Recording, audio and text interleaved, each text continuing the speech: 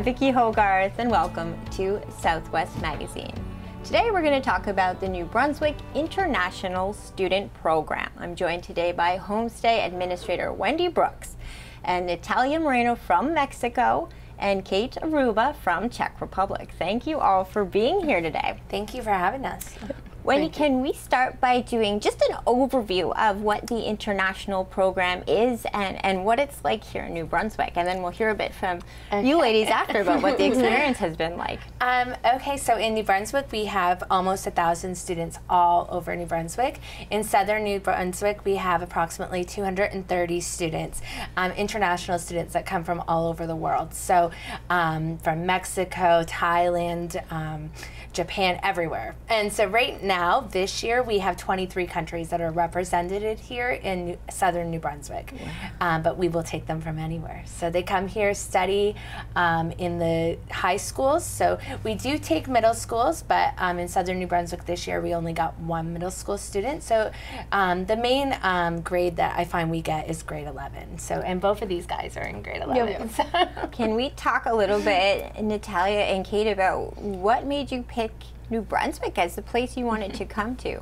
Uh, well, I'm studying English and I'm learning French too, so I wanted something bilingual. I wanted to use both of the languages, and here I can do that, so that's fun. yeah. I chose New Brunswick because of the nature. I thought it was really pretty. I saw like other pictures from other parts of Canada, and I really like like the coast. And I think St. John, like, it's perfect for that. And Kate, you mentioned your best friend from Czech Republic is here too, but in a different city. Uh, I have a friend. Yeah, I have a friend here, and she's in Hampton. She's uh, it's a it's close to St. John, but we don't see each other that often. But yeah, she's she's yeah. here too. and are you both here for a full year? Yep. Yep.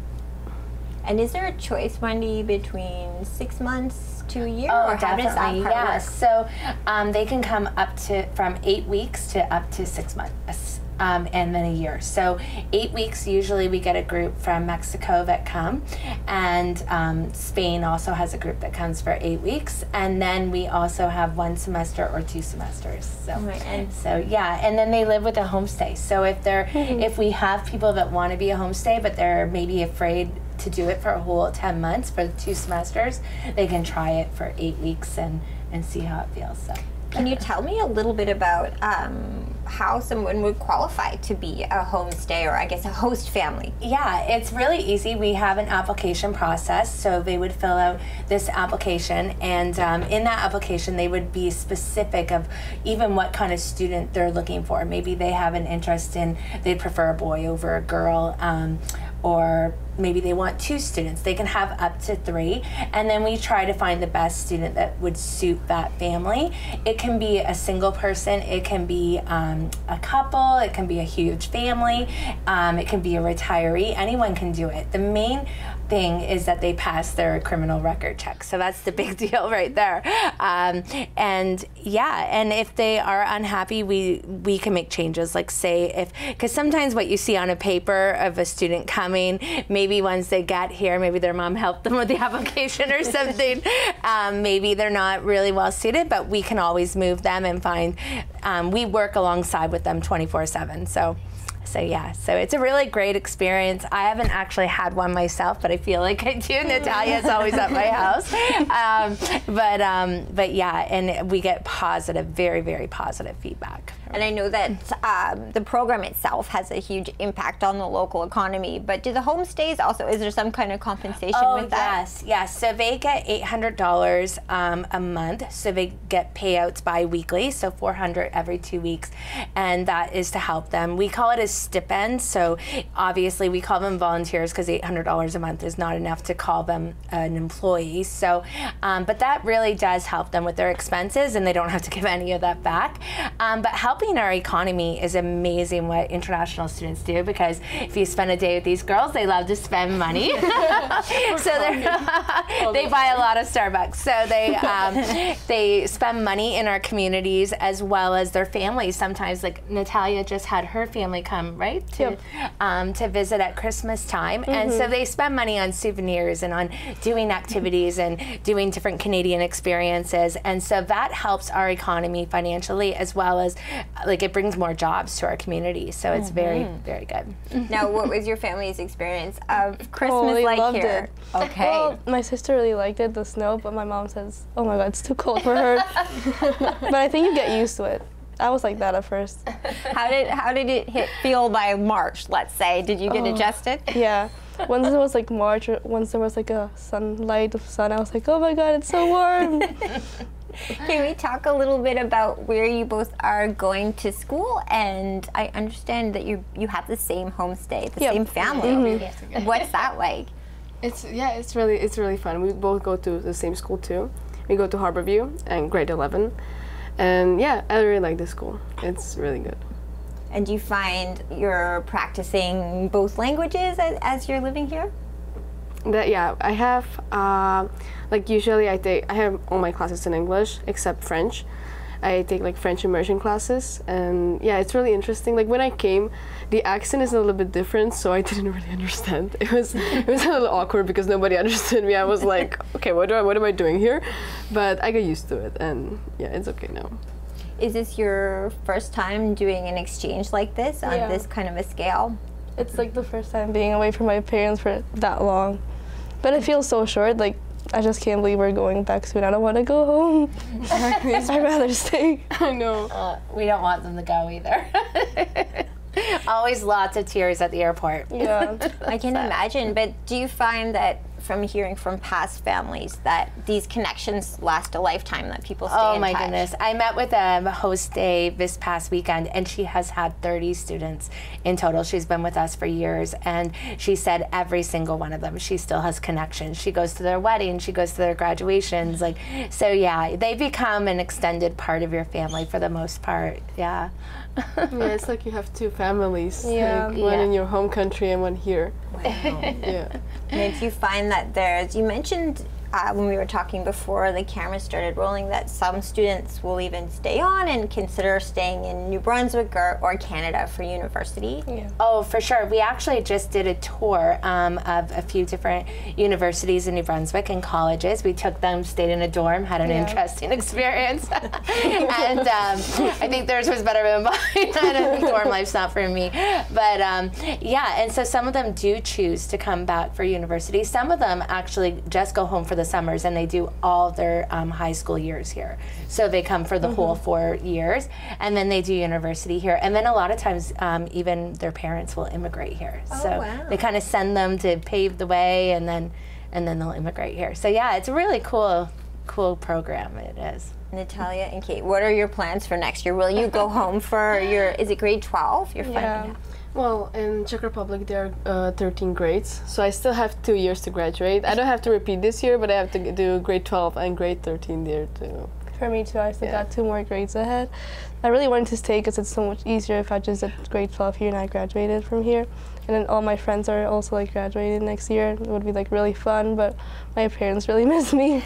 We So I have tried to to go convince them. the answer was no. I tried really hard.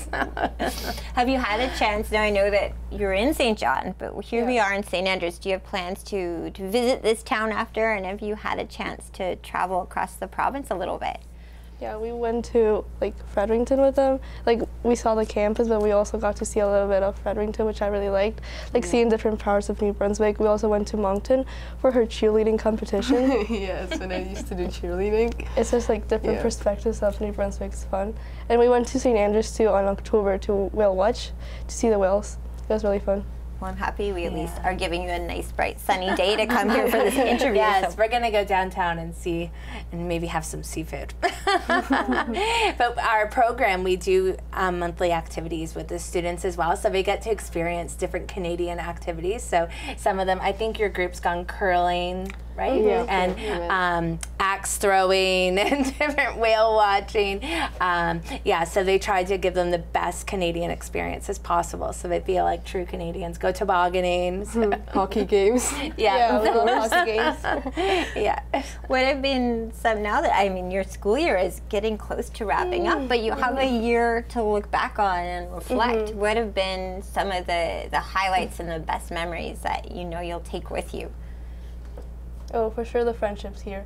Like, I just, Exactly. I just can't imagine life without them now. But it's hard, you know. Yeah, the people, the people you met here, like it's so interesting. The Canadian people, and also the internationals, mm-hmm. because like I made a lot of friends here. A lot of I met a, new, a lot of new people, and I want to I want to visit them. For example, like in Germany and Spain, I want to visit them for sure, You and Mexico. You not only make course. friends from like Canadian people, but also you got a lot of international people you can make friends with, and look like after this year you can still make a connection with them, which is I love it. Yeah, their school alone has 30, I believe, students, or at least we did at the beginning of the year. Some have gone home already. And then we also do trips together. Like we went to PEI and Nova Scotia. We've done an Ontario trip. So they get to meet a lot of different um, international students from like in the other provinces, or not other provinces, other cities. So. Yeah, actually, like now we went to Fredericton for the universities, uh, there's not many people from Czech Republic. There's like three in New Brunswick that I know of, like, including me. But I met a guy from Czech Republic there. Uh, he's staying in Miramichi, so I, I don't know if I'll, if I'll ever see him again. But like maybe in Czech Republic, yeah. But it was really cool to see him, you know, to meet him, meet somebody. And St. Stephen, I understand, for one of the local schools here, is quite a big number. Yes, I don't remember offhand. I think at least a dozen, but yeah, we have a great program here, a great homestay here. Neva Palmer is our homestay here in St. Andrews. We also have a group in St. Stephen's, and then um, in uh, St. George has has a group as well. So we're looking for homestays so for new students coming in the fall. What's So. the feedback that you get from the community in general in terms of, of what this adds to a town. Like St. Andrews or St. Stephen? I know New Brunswick sometimes doesn't seem like it's the most diverse place, but when you add a program like this into the mix, it allows us to meet so many people from different Oh, parts of the world and really enriches the lives of not just the students, but uh, we're lucky enough in a small town to get to meet you too. Yeah, it's definitely um, adds diversity to our communities. Um, they we get to learn new languages. We get to learn new, like similarities and differences of the people that come to our countries. And um, my daughter, she's in school with both of these girls, and she's learned different things. Um, shockingly, there are a lot of similarities and a lot of differences, and so um, things that we would never know. Obviously, we're not going to be able to afford to go to Thailand or to go to Spain or to go to all these places, but we're bringing that to our communities and um, making our communities more diverse, and it's very educational for our students and for our communities. Um, what do you think were the biggest challenges of this experience when you look back on on this year? What did you find you struggled with most? Well, I don't think I thought I was gonna really struggle with my family, like being away from them. But once you get here, it's like it's kind of like you're on vacation, but you're not really. But then you adapt really quickly. But it's a challenge to adapt. Like it's diff- There's a lot of stuff that are different. Like school is pretty, I would say, different from my school. But you get to adapt that to really quick because mm-hmm. it's like you do it every day for 10 months. It's just a routine. But once you get used to it, like a month, you're like ready. Right. Yeah, I thought I would miss my family more, but I think it's gonna be I like I still miss them. I, mean, I love them, and I still miss them, of course. Watch this. But the thing is, I, I feel like it's gonna be harder to leave this Yeah. place than it was harder to leave our home countries because when we were leaving, we knew we were gonna see him, uh, see them again, you know. But like here, you don't know if you're ever gonna see some people again. Of course, I wanna visit them. Of course, I wanna see them again. But maybe I won't get the chance. You know, you'll never know. You know, so Thankfully, we have FaceTime and to say. Yeah. yes, of course. Uh, I do invite you to come to the airport, though. It's an emotional time. yeah. It's very emotional. I'm dreading it. we had friends who left for like six months and it's so hard because you're used to seeing them every day do everything with them and then suddenly they're back in germany like in their Yeah. lives again yeah. I We mean, I just still moved. call them, but it's not mm-hmm. like every day. You know, it's not We like know. everyday talks like we used to. yeah like we eat lunch together. Now he's not there. She's not there anymore. It's like Yeah, thankfully for social media and the era of, oh. of Zoom must change the game for For sure. Yeah. Not the same, but That is something. Can we talk a little bit more about homestays? Because I know that's one of the challenges of the program itself. Oh, for itself. sure, yeah. Um, what do you think uh, people need to know that they might not be aware of? I think in if I'm coming at it from my own perspective, I would assume I would also have to have a kid in school to be a part of Oh, this program. okay. But No, No. you don't. So anyone can do it. Um, there is an age limit. I believe it might be 24 or something like that. Um, but anyone can do it. Single, retired. We actually have a lot of retirees that decide to do it, and even widows that maybe don't want to be home alone anymore. They want to fill those rooms in their house. So um, your homestays are Yeah. to. They have adult children. So um, so their children are gone now, and they have these empty bedrooms that they want to fill. So as long as you have a bedroom with a window and a door and a working space and a bed for the students, then um, and you pass the criminal record check, we would love to have you join us. So. what's um, the general feedback you get from from host families about how the experience enriched their lives and and I also wonder how many of them seem to be I don't want to say repeat customers Yes, that's not what no. it is at all but to do it year after year I know Yes, um, for sure. for instance Mark Blanch Blanchard from St Andrews Town Council I know he does it every year Yes, right. Actually, most people do repeat. It's very uncommon that they only do it once. I have heard from people that they've had such a great experience. I don't want to do it again and then ruin that. Like they're afraid to almost do it again. You know, you have one child, you don't want to have a second one. It might not be as good as the first.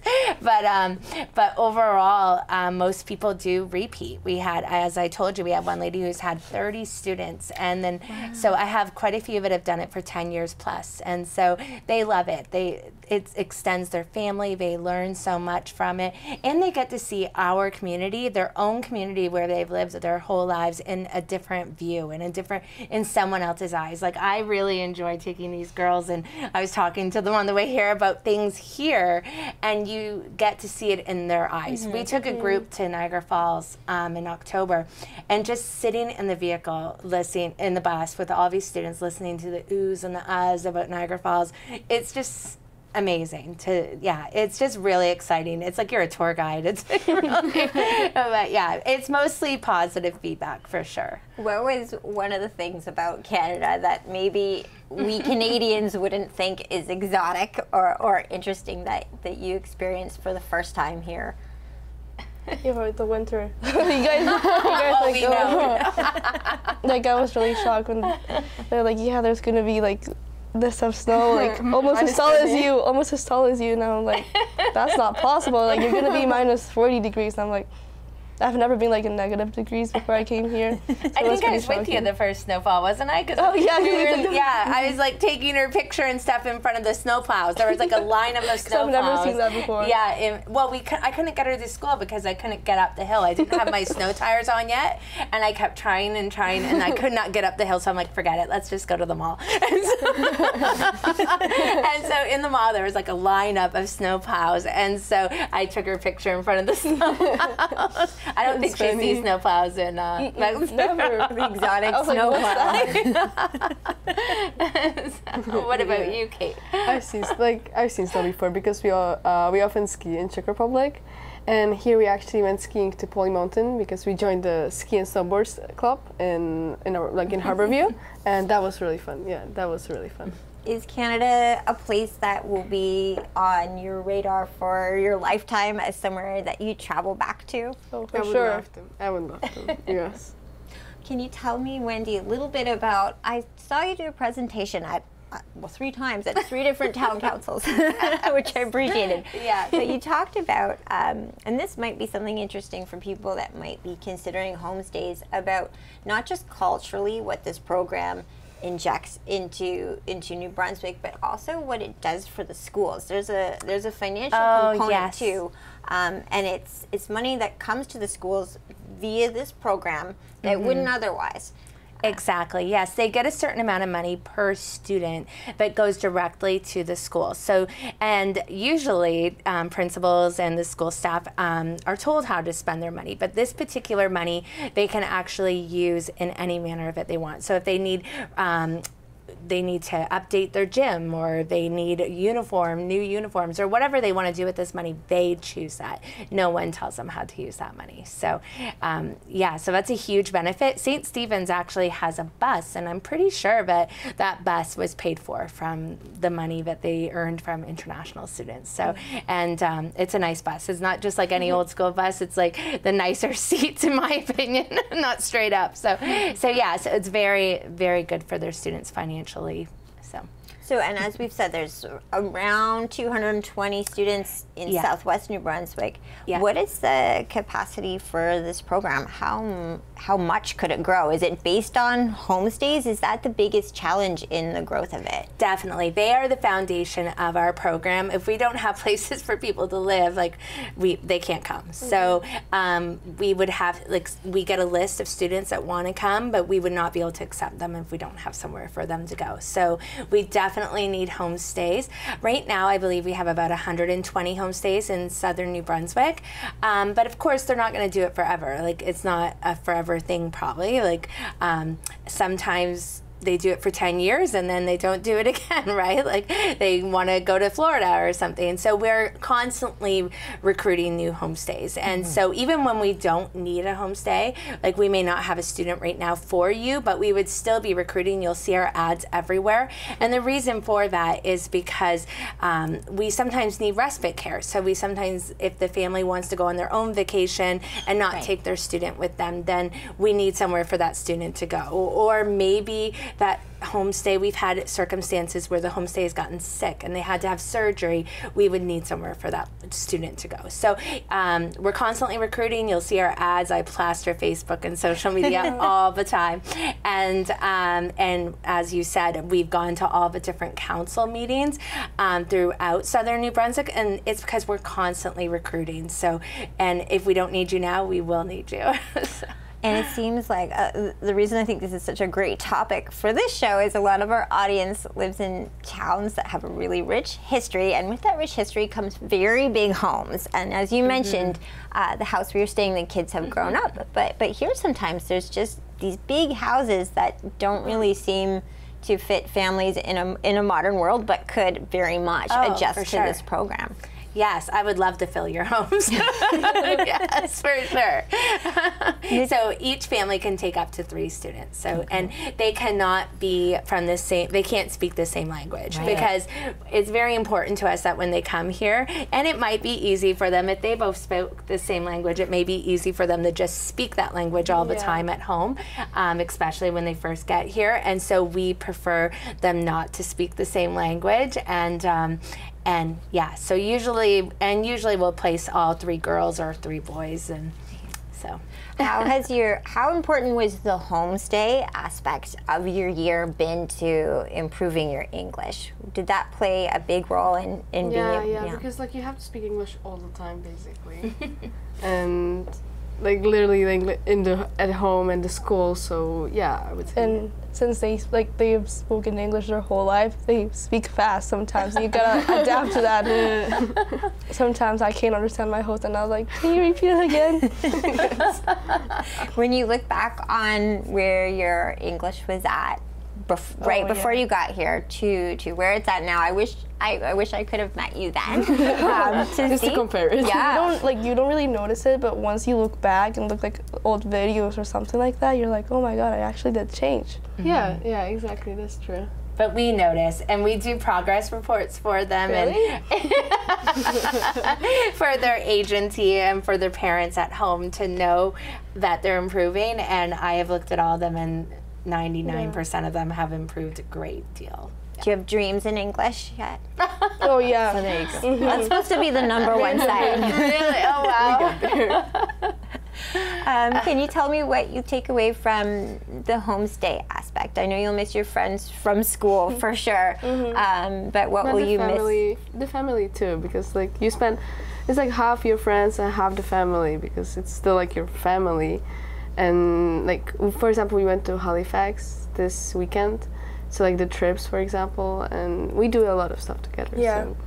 like she's my second mom basically because Yeah. I spent a lot of time together like exactly in the trip like she and uh, my host cousin were sleeping, so we just talked the whole way back. and you get to know her, like already know her, but more and more, and it's just amazing, like to hear her live and like she looked at us like her children, you know. Yeah. She was speaking to our host cousin. She's like, "Yeah, they're like my children now." And like, you feel like, oh, Because you feel like part of the family. Yeah.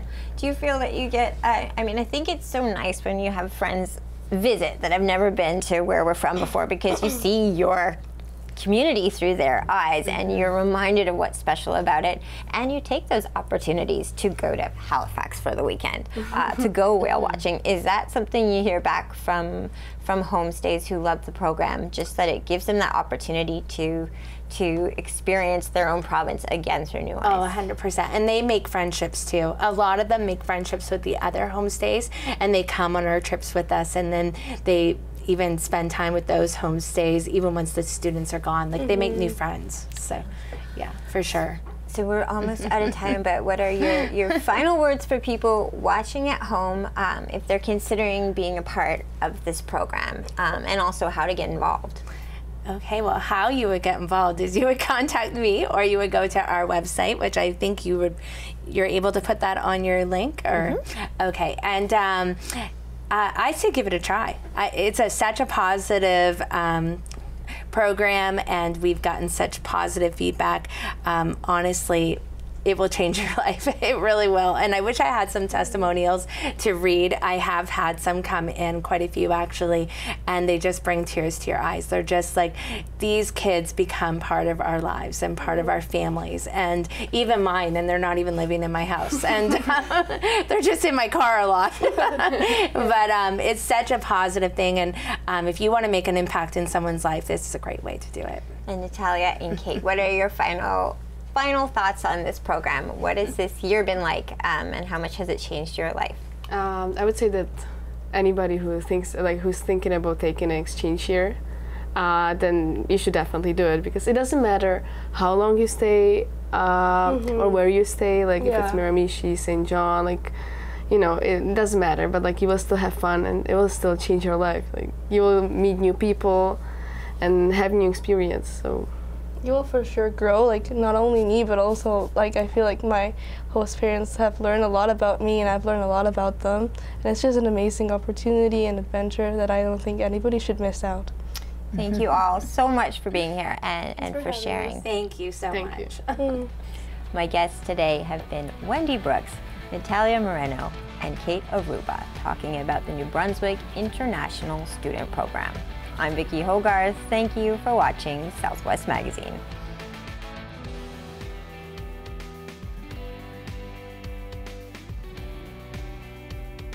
Southwest Magazine is a news and public affairs production of CHCO Television.